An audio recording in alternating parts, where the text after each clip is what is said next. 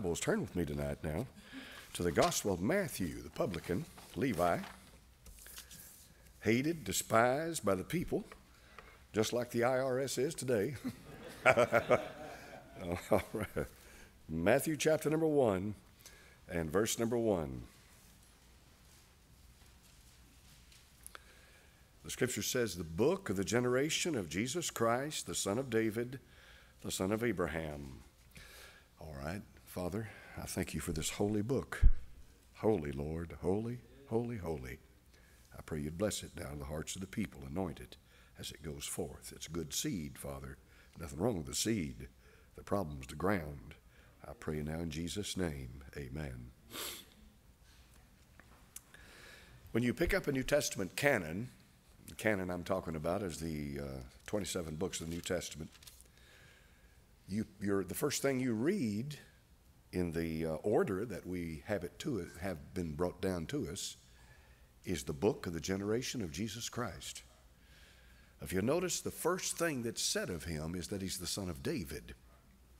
Now, we know that Abraham lived 1,900 years before Christ. And we know David lived about a thousand years before Christ.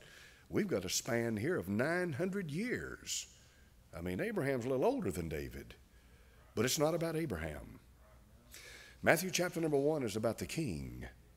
David was the king. He was the only king in the Old Testament that God promised to perpetuate his throne. God said there'll never cease to be a man to sit on the throne of Israel. So we have, therefore, the writer of Matthew's calling attention to the fact that this is the son of David, therefore, with full credentials to be the king. Now come to the Gospel of Mark, chapter number 1, and verse number 1. And it simply says, The beginning of the gospel of Jesus Christ, the Son of God, as it is written, uh, Behold, I send my messenger before thy face he goes right into his ministry. Notice the ministry. There's nothing about a genealogy, nothing like that. He goes straight into the ministry of Christ. Now go to the Gospel of Luke, verse chapter 1, verse 1. Luke chapter 1, verse 1. Now note carefully how Luke writes. Forasmuch as many have taken in hand to set forth in order a declaration of those things which are most surely believed among us Verse 3. Verse 2 Even as they delivered them unto us, which from the beginning were eyewitnesses and ministers of the word, it seemed good to me also, having had perfect understanding of all things from the very first, to write unto thee in order, most excellent Theophilus. Now go to the book of Acts, chapter number 1, verse 1.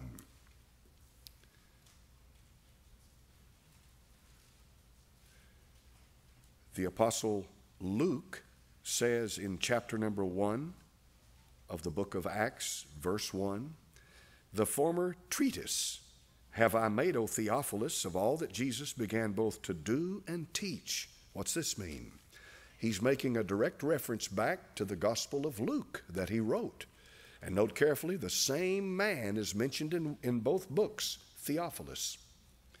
If you'll notice carefully the way Luke writes this here, Note carefully. He says, It seemed good to me also, having had perfect, to write unto thee in order, most excellent Theophilus. Luke is definitely approaching this from the perspective of these are the events. I'm a historian, and I'm going to tell you what happened. Now, the reason I give you that is because Matthew, Mark, and Luke are what's called the synoptic gospels. I've told you that, you know, many times before. Synopsis means that they all have one view. That's what a synopsis is. Now look at John chapter number 1, the Gospel of John chapter number 1, and verse 1. In John chapter number 1 and verse 1, in the beginning was the Word. The Word was with God, and the Word was God. Now, the Apostle John lets you know right off the bat that the focus of this gospel is going to be entirely different than uh, Matthew, Mark, and Luke. It complements them. There's no contradiction here. He doesn't have his own agenda. What he does is complement for a later time. I wish you'd listen carefully to what I'm saying to you tonight. It'll help clear up a lot of contradictions, so called contradictions. There's a lot of people out there that believe you need to be baptized in water or you're not saved. Did you know that? Look at Mark chapter number 16. Mark chapter number 16 and verse number 15. Mark 16 15. This is one of the great commissions Go ye into all the world and preach the gospel to every creature. He that believeth, now if we could just get this second part out of here, you know, a lot of Baptists just don't like that. He that believeth and is baptized shall be saved, but he that believeth not shall be damned. Now, I'm not going to take it out of there. I'm going to tell you it belongs somewhere. It belongs somewhere. It has a place and it has a reason for being in the Bible. Look at Matthew chapter number 28. This is another of the great commissions. Matthew chapter number 28, verse number 19. the Lord Jesus, Matthew 28, 19. Go ye therefore and teach all nations, doing what? Baptizing. Now, note carefully, this is something we do. This is not the baptism of the Holy Ghost. The Lord Jesus does that. All right, this is definitely a water baptism. Go ye therefore and teach all nations, baptizing them in the name of the Father, and of the Son, and of the Holy Ghost, teaching them to observe all things whatsoever I have commanded you, and lo, I am with you always, even unto the end of the world. Amen. So, how do we make sense of that? Because I want you to look at how John ends his gospel. Look at John's gospel, written much later. John chapter number 20, verse 21. Here is a commission. John 20, verse 21. Then said Jesus to them again, Peace be unto you. As my Father hath sent me, even so send I you. Now, how many of you remember what the word Siloam means? Exactly. I'm glad you fired right back with that. Good. That's exactly what it means. The waters of Shiloah that flow softly in the Old Testament, that's what it calls them. And they flow down to the pool of Siloam. A man that was born blind had the earth curse put on his eyes. And when he went into the pool of Siloam and washed, the curse was washed away and he came seeing, right? And immediately the Pharisees and the Sadducees and the Sanhedrin, and the rest of them, kicked him out of the church. They kicked him out of the synagogue. And the Lord found him and he said, Dost thou believe on the Son of God? He put the question to him Who is he, Lord, that I may believe on him? He said, I that speak to thee am he. That's me. Now you'll be surprised at how many Bible commentaries and preachers in the ministry today don't believe that. He's called the Son of Man in John chapter number 9. The Apostle Paul said, Without controversy, great is the mystery of godliness. God was manifest in the flesh. Now, the Apostle John, Paul said God was manifest in the flesh. The Apostle John says, And the Word became flesh and dwelt among us, and we beheld his glory. The glory is the only begotten of the Father, full of grace and truth. The Bible says, The Word was with God, and the Word was God.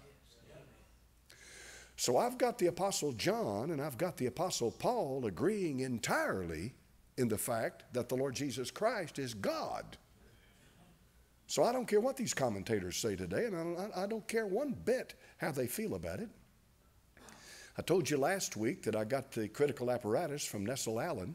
It's a little book about this big. I use I, I appeal to it about once every 10 years. I've had it in my library now for 40 years. I had I got it when I studied New Testament Greek. That's when I bought it. And and when I had New Testament Greek, I bought Nestle Aland's critical apparatus. And uh, they showed me how to use it. And from that day on, I stuck that up under my arm and I said, I believe this Bible is the Word of God and nobody's going to move me from it. Every place that these new Bibles try to correct my Bible, they've got a problem. What is that? I can go to the very original sources that made up the Greek New Testament that this is translated from. And I told you last week that the majority of all of the material available to make up a Greek New Testament agrees with John 9, where he's the Son of God. And yet they'll come along and say, well, the ancient witnesses uh, say Son of Man, and on and on and on it goes. It seems like there's somebody in the Bible, not in the Bible, but somebody messing with the Bible that doesn't like the idea that Jesus is the Son of God. Now, Mohammed doesn't like that. Not a bit. And I'm sure it would anger them greatly if I told them, you believe the same thing a Muslim does. of course, they'll come along and tell me, well, there are many other passages. Don't, don't talk about many other. Don't mess with the Word of God. Amen. Leave it alone. Now, John's gospel, I'm, I'm, I'm, I'm going to take you somewhere tonight. I hope you listen to me carefully. The Gospel of John was written about 90 AD, long after Matthew, Mark, and Luke, long after the kingdom was offered and rejected and the king was rejected. The first time that books are brought together that form a part of the New Testament canon was about 180 to 200 AD, and it's called the Muratorian canon. Remember that. Muratorian canon. Somewhere about 180 to 200 AD, uh, a, a, a, Italian back in 1700 found this. Uh, he was a historian, and he found this list in a, uh, in a library over there in Italy somewhere. And when he did, he found the books of the Bible, not all of them, but about every one of them. And he dated that thing all the way back to the first century after Christ. Now, that's quite a remarkable thing. It really is. Because it shows you that within 150 to 200 years, the New Testament believers knew what the Scripture was because the Holy Ghost had led them into that. But now that's not a New Testament like you've got in your hands. That didn't show up until later when somebody could pick up all the books of the Bible and find them bound in one volume and hold it in your hands. See, a New Testament like you've got in your hands here with 27 books, it took it a while for that to come into being. In other words, believers maybe have had the Gospel of Mark. Maybe a New Testament Bible believer might have all he had was the Gospel of John. You see, every one of them had to meticulously hand copied no printing presses. That's what the scribe was so valued for because he copied, hand copied all of these scriptures. And remember, I told you about the Hebrews, how they are so, so careful when they copy their New Testaments, not the Old Testament, rather, and the Masoretic text. They have what's called a fence to the Scripture, which is called the Masorah. The Masorah. It's a fence to the Scripture. It tells you how many words are on the page. It tells you how many times each word is used. It tells you exactly the location, everything they need to know about that word. And when they get through and when they get through copying that page, they can go back and compare what they're supposed to have with what they've got and see if they made any mistakes. That's good, isn't it? This is why when they found that 57 foot long copy of Isaiah that was made in 300 BC, that Brian Rowland that I mentioned to you about found in Isaiah chapter number 11, where the wolf shall lie down with the lamb it says the same thing that the original Isaiah said in chapter number 11, only removed by 400 years. See what I mean? And this Mandela effect that they're trying to mess with your mind over, they're trying to destroy your faith in the Bible. And it's one of the most cunning, backhanded things I've ever seen. And some of these guys on YouTube act like they're such scholars about this stuff, and they're attacking the Bible, they're attacking the Word of God, and they're causing people to lose faith in the Scripture. Based on what? If I've got something that's 300 BC and it says wolf and lamb, I'm going to stick with that. you see what I mean? So they had a fence to the Scriptures. It's called the Masorah.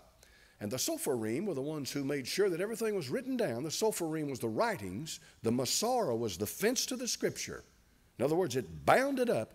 And that's where we get the term Masorite. See? We get it from the Masorah, the Masoretes. And that's where you get the vowel points when you try to pick up a, a, a Hebrew Old Testament. Uh, pick it up and try to read it, and you got a bunch of little dots and dashes there. Say, what in the world does that mean? Well, if you know what those vowel points, and you can learn them, they're not that big. That's not that big a deal. You learn what the vowel points represent because they're vowels. They're vowels. You put that vowel with these consonants, and you can pronounce the word. So, who are we indebted to to give us that Old Testament? We owe them greatly, the Masoretes. Now, how am I to understand Matthew, Mark, and Luke when it talks about you need to be baptized in water? Yet the Gospel of John doesn't say a word about water. Nowhere in there. Nowhere to be found. Now, what did John the Baptist do when he showed up? What was his ministry in preparing the world to receive the Lord Jesus? What was he doing? John the Baptizer. That's what that means. So he was the first Baptist. I know a lot of folks out there believe that. But John the Baptist wasn't even part of the bride, folks. He was a friend. But anyway, he was the baptizer. So what was he doing? Symbolically, it represented that they had died out to Israel, to the Sanhedrin, to the corruption of their people, and had received the truth that John the Baptist was preaching to repent.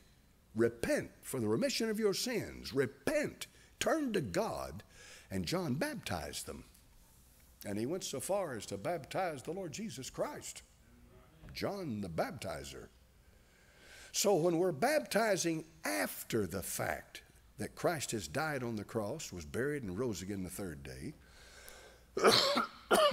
did baptism do for John the baptizer? It gave him authority. The, the Jews came to him and said, By what authority do you baptize? You remember them asking him that? Who do you think you are out here in the middle of nowhere baptizing people? What do you think you're doing? And the Jews had all kinds of baptisms. They've got what's called a mikveh. And a mikveh is a square thing where you go down into the water and you're baptized. And when you come up out of that water, you can go over to the steps and you can walk to the top of the Temple Mount. You've been cleansed symbolically. That's a mikveh. So the Jews were very familiar with baptism. And they came to him and said, Who do you think you are baptizing? Who gave you that authority? John said, My authority came from God. He said, I'm the voice of one crying in the wilderness. So, when after the Lord had finished his ministry, ascended to heaven, and told these disciples, he said, Now you go out and baptize. He was putting on them the same authority that he gave John the Baptist. He was giving them that authority to go baptized to show that the message they were preaching was a message from God and it was coming with the authority of God. And there was no question about it, they could go out and do that. But by the time John writes his gospel in 90 AD, nobody was baptizing. Now let that settle in for a minute. By 90 AD, not a word. Some sorry low down dog gave me a cold. I'm suffering with it tonight. And I forced myself and came here tonight to get up, and that's what Saul said. You know, he said, I forced myself. And uh, I'll, I'll, the sad thing is, I'll live. Amen. but by 90 AD, nobody's baptizing. And the whole Gospel of John, no baptism. And the commission in John gets to a much deeper spiritual level. Notice carefully. What he does to them in Matthew, Mark, and Luke is to give them a commission. Now, you go out and you do this. All right? You go do it. But in the Gospel of John, he said, Now I'm sending you forth. And then he breathed on them and said, Receive you the Holy Ghost. Now that's a far different thing than Matthew, Mark, and Luke. You see, he was preparing them for that baptism of the Holy Ghost in Acts chapter number 2. Now, there's a lot of controversy about this. I was taught for years that, the that baptism with fire is hell. Now, you may believe that, okay, but why would you be baptized in hell? What's the point? This fire that came down in Acts chapter number 2 came down upon them as cloven tongues. And it was that day that, that, that they were put into the body of Christ. The body of Christ came into being as far as a living, functioning, organic unity on that day when they were baptized by the Holy Ghost into the body of Christ. And the symbol of it was fire. Now, if you'll remember last week, I don't remember when it was, but I told you how that when the Lord Jesus was baptized, what appeared over his head? A dove. And in the Bible, a dove is a symbol of purity. A purity. Not fire, but a dove. But for we earthlings who did, who did, who did not receive the Spirit like he did in the fullness, we've received the Spirit by measure. Every one of us, all of us, all of mankind, we were baptized with fire, the emblem of fire. What's the fire doing? It's purging, cleansing, purging and cleansing. And you remember what happened over there in Isaiah chapter number six? If you don't believe fire purges, what did it say over there in Isaiah 6? How many remember reading that? When Isaiah came before Uzziah, the Bible said, In the year that King Uzziah died, I saw the Lord high and lifted up, and his train filled the temple. And the seraphim were flying. A seraphim is nothing but a ball of fire that cries, Holy, holy, holy. You see, fire and the Lord is synonymous. The Bible says, Our God is a consuming fire. Hebrews 12, 29. Amen synonymous fire, the Holy One, this fire that protected them at night, and the cloud that led them in the daytime, the fire. And so what happened? Well, the Bible said he took the thongs off of the altar, the, the thongs of the colt, and he went to Isaiah with it, and he purged his mouth. He cleansed it so that he could go out and preach and warn the people of Israel. And it was done with fire. Now, I believe it's holy fire. How many of you remember when the first sacrifice, where you can really see it, showed up, where the fire comes down and consumes the sacrifice? How many remember reading that? You remember where it was? It was Carmel. It was Elijah on top of Carmel. In the Old Testament, the way they knew that God had received a sacrifice was with fire. God would send the fire and he would receive the sacrifice. In other words, it was a supernatural powerful fire sent forth from God, just like Acts chapter number 2. The fire consumed the sacrifice at the altar on top of Carmel and licked up the water. And God, by that, was, was showing them that I have received you and your sacrifice. To receive the sacrifice is to receive you. And I have received you. And He showed it by fire. In the Old Testament, when they had the brazen altar outside the tabernacle, that brazen altar was to burn. Do you know where the fire came from from that brazen altar? It came from heaven. You did not kindle that fire. If you kindle your own fire, that's your own righteousness. God said in the book of Isaiah, He said this to them. He said, I want you to sit down, and He said, I want you to look at the sparks that pop up out of that fire you've kindled and see how much light it gives you and how much protection you're going to get from it. That's what he told him in Isaiah. You kindled it, you built it, now let's see what it does for you. But if it's the fire that comes down from God, it is a purifying, holy fire. And that's exactly what he sent. And he said, You take the fire off that altar, you reach in there, you take that fire from the altar that came down from heaven, and you go into the holy place, and there you burn incense at the altar of incense, the golden altar that stands right before the curtain, and you burn it with the fire that comes down from heaven. Do you remember reading in the Old Testament where two people took strange fire into there? They were Aaron's sons, folks. Aaron. Yeah, yeah, yeah, they sure did. Nadab and Abihu. And the Bible says a fire went out from the Lord a fire went out when they were in the holy place. They took strange fire in there and it consumed them. here's what that means the Holy Spirit of God has come upon us. If you have ever received the real Holy Spirit of God, there's a purging that's going to take place inside your soul. That's what that's symbolic of, that's what's a type of. And that Holy Spirit of God is going to burn away the dross. It's going to cleanse you because the Holy Ghost is the one who does the cleansing. For someone to say that they're saved and their life does not change is a contradiction in terms. If any man be in Christ, he's a new creature. Everything changes. You're not what you used to be.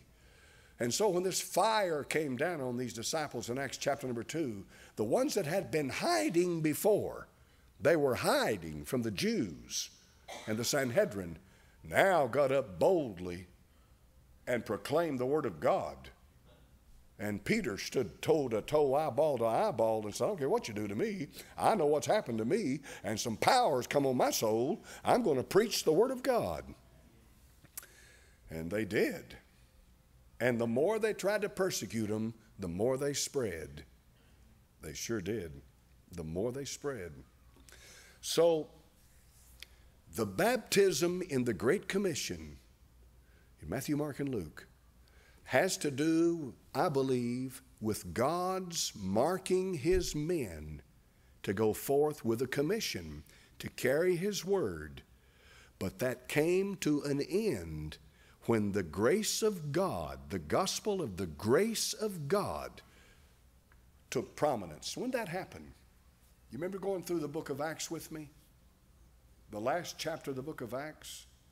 Did you know that God was offering the kingdom in a varied form to Israel all the way through the book of Acts? Did you know that until the last chapter of the book of Acts? and in the last chapter of Acts, the Apostle Paul said, Well did Isaiah the prophet speak, saying, Having ears you hear not, eyes you see not. The heart of this people is waxed gross lest they should see with their eyes and ear with their, hear with their ears and be saved. And he blinded them. God did, right there. Now, that must have been a big deal, folks, because at that point, the demarcation was settled. It was no longer Israel as a unity, as a unit, as a body politic, as a group, no more. Now it was whosoever will. Jew, Gentile, bond, free, red, yellow, black, white. And the apostle said in the last chapter of Acts, I go to the Gentiles and they'll hear it. It is that going to the Gentiles and them hearing it that fits in with this gospel of John where you gotta you, you're sent and there's power and there's unction and there's anointing and there's no baptism and that's what happened and that's where we stand today and that's how to that's how to put together the great doctrine of the new birth that we find in the Gospel of John. Now, what if somebody had only had the Gospel of Matthew? That's all they ever read all their life. And they died. Let's say they died at 60 AD. All they had was Matthew. Could they be saved? Well, of course they could. Every one of those Gospels declare the Lord Jesus to be the Son of God in one way or another. Why, of course they could be saved. Absolutely. No question about it. And having nothing but the Gospel of Matthew, that's all they knew. That's all they knew. But you got a whole lot more today. You're accountable for the light that you reject and the light you receive. You see, when God gives you light, that's a great privilege. Amen. That's a great privilege. And you've got a gospel now that says, Nicodemus, you must be born again. There's not a word in Matthew, Mark, and Luke about being born again. There's not a word in Genesis through Malachi about being born again. Not a word, although it is in there in typology and if you had read deeply into it and been led by the Holy Ghost, the Lord rebuked Nicodemus and said, Thou being a teacher, a master in Israel, and knowest not these things, you ought to know it. And he would have known it from the Old Testament, but he didn't know it. How can a man enter the second time in his mother's womb and be born? Nicodemus saw it strictly on a natural level. You must be born again. Now, your eschatology is going to determine what you believe about the New Testament. Most people don't take the New Testament and then their eschatology. They take their eschatology and they read the New Testament through the lens of their eschatology. In other words, they read the New Testament through the lens of their church doctrine and what their church teaches. And that's a sad thing. I've been saved since 1973. I started out as green as that grass. About the only thing I knew was half the Ten Commandments and a few of the names of the apostles. And I knew the books of the Bible because I learned them in the public school system at uh, Beaumont Avenue uh, uh, Grammar School. The public school system, wasn't that a horrible thing? That's terrible. Good night. Subject those kids to the books of the Bible. What a thing. Man, we ought to, we ought to prosecute those people. Good. But when God saved me in 1973, He put me on a journey. He put me on a journey. And I went on that journey because I loved Him. He'd saved me, He'd changed me. I wasn't what I used to be, and I knew that. And it wasn't long before I met an awful lot of people that I thought, my goodness gracious, man, you're religious, but you sure don't seem to have anything. You know, there's just, just doesn't seem to be a witness. And then I met some people that had a witness. And I had some people, I met some people that were drawn to me, and I was drawn to them. That was the fellowship of the Spirit. And then I started reading. Man, did I read. I dug deep and dug fast. I had a lot to learn, had to learn it quickly. Folks, do you realize I'd only been saved three years when I came here to pastor this church? I was still nearly as green as that grass. I didn't know anything. well, I knew a little. Three years I'd been saved. I'd been reading a lot. And I was thrown right into the lion's den. a preacher, you came to a church, they loved each other and they had fellowship and so forth. Let me tell you the truth. they sat there and looked at each other and said, Oh, we love each other, and walk out the door and cut each other to pieces. Hogwash. but I was used to just the world. I mean, that's all I was. I was used to the world. It, didn't, it took me a while to understand religious, but the religious social order, right? I guess you might say it that way. Took a while to learn it. I learned it from experience. But I kept learning. I kept learning. I kept learning. It didn't take me long to find out that I could read so much after a man, I get to a certain point with him, he wouldn't go any further.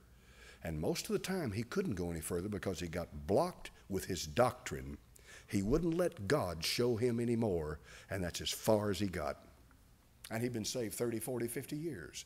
But you're only going to go so far with him. If you'll open up your heart tonight, God will take you as far as you want to go with the Lord.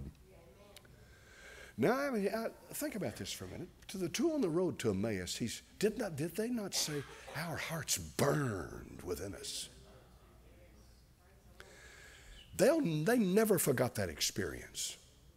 The burning of the Holy Ghost inside their soul. And what caused that? What did he say? when He opened to us the Scriptures. Ask God to open them for you. I do that all the time. And I say, Lord, don't let me lead people astray. Lord, open that book to me.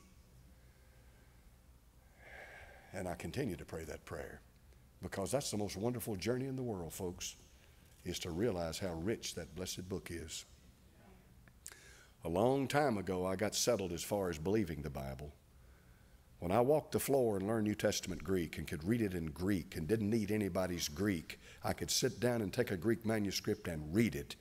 From that point on, I got up and said, I got this book and I believe this book, and this book has no mistakes in it, and every mistake anybody's ever tried to point out to me is a lie, and they've got a motive for it. They're trying to destroy my faith in the Word of the living God. My faith continued to grow stronger. I believe the book. That book is without error. Now, if you get to the point to where you just can't shake it and you still doubt and you still need your Greek professor and you've got to have your lexicons and you just are not certain about certain passages in the Bible, that's as far as you're going. You'll grow no more. So, what are you talking about? I'm talking about the vast majority of the people who go to the church house every Sunday, especially the pastors in the pulpit. They were taught in their Bible colleges that the New Testament, the King James Bible, is full of errors. How in the world can your faith grow if you've got a book in your hand that you don't even believe? And one more time, so it, so it, one more time, so it'll, it'll take indelible impression in your heart. When somebody gets up in front of you and tells you the original says this, go up to him after the service and say, I'm so tickled to death to meet you. Hallelujah. Glory to God. I've been looking all over the world for somebody like you. You got the originals. Let me see them, son. and you'll embarrass him because he doesn't have the originals. He's heard it and said it so much that he thinks it's a reality. It's not a reality. Nobody's got the originals. This is where Nestle-Aland's critical apparatus that I was telling you about comes in play. And I'll show you, if you want to see it, I'll show you how it works. All of the different material available, the Textus Receptus is in there, the Vaticanus, the Washingtonius, the Alexandrinus, the, the, the uncials, the cursives, the lectionaries, the early sermons of the apostles, stuff like it's all everything that we could get our hands on that goes back 2,000 years. It's all in there. And when you're going to make up a Greek testament, you want to get the authority so you go, you know you're right. All right? I can show you that. They've got that, but they don't have anybody's original. It would be nice. It really would. It would be wonderful if somewhere over there in that blazing desert that they dug up the original Gospel of John or found the original Gospel of Matthew or the book of Romans or some of the New Testament book. Wouldn't it be, wouldn't it be something if they took that original, found it, laid it down to this book right here, and word for word? oh boy, we'd have some mad people. because the whole premise of their ministry has been to correct and judge and, and, and criticize the Word of God. Your faith will never get any stronger than your belief in the Bible. Never. It cannot. The entrance of thy word giveth light, it giveth understanding to the simple. Do you have the Word of God? Yes, I do. And I believe it tonight that I've got God's inspired, infallible Word and I believe because I believe it, the stuff that I'm giving out to you tonight, folks, the stuff I'm talking about with this period of time between Matthew, Mark, and Luke and the Gospel of John, it may be out there that other men have seen the same thing, but I cannot take you to anybody's book and say he's saying the same thing. I can't do it. Now, there are out there saying that, that, that John was written 90 late, 90, 85, 90, 95 AD. Yes. I'm not the only one teaching that. But what I'm talking about tonight, and the things that I've been bringing before you, I cannot find it where anybody writes that, although they may have written it. And mother, what's that mean, preacher? I got it from God. That's where I got it. Came from God. That's the point. Came from study. And I till somebody comes along and shows me where I'm wrong. And I'm welcome to do that. Then I'll I'll keep what I've got because it has increased my faith and blessed me greatly. How many of you tonight believe that election in the New Testament, uh, the word election in the New Testament has to do with salvation? I'm not trying to trick you, but what do you hear from people? Does it not relate to salvation? Sure. I say that with tongue in cheek. How many times have you heard some preacher get up and say, Christ only died for humanity. He did not die for the angels. You ever heard him say that? Well, I used to preach that. I heard a preacher say that and it sounded good, and I thought, I'll get up and use that. Well, how do you figure the elect angels? Think about it for a minute. In other words, if election, every time election shows up in the Bible, it is a direct reference to salvation then it's obvious that God saved some of the angels. Are you following me? Well, if He saved them, He had to die for them because angels sin. angels sin just like human beings. You say, well, now wait a minute, preacher, that opens up a whole new kind of worms. What it does is open up something for you to make you think. Think. This is why I say to you, show me one scripture. And I've been saying this now for over a year, and I have yet to get one phone call, one email, one letter, none. Show me one scripture in the Bible which says only the elect will be saved. They're stumped. They're stumped. They, they, don't, they don't know how to handle that. The five point hyper Calvinist is accustomed to tulip and accustomed to you dealing with election. And most Baptists make a huge mistake by trying to explain election away. Folks, election is a real thing.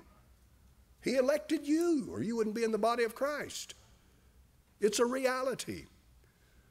But what they try to do is to take that reality and make it a universal reality without exception. And that's where they get in trouble.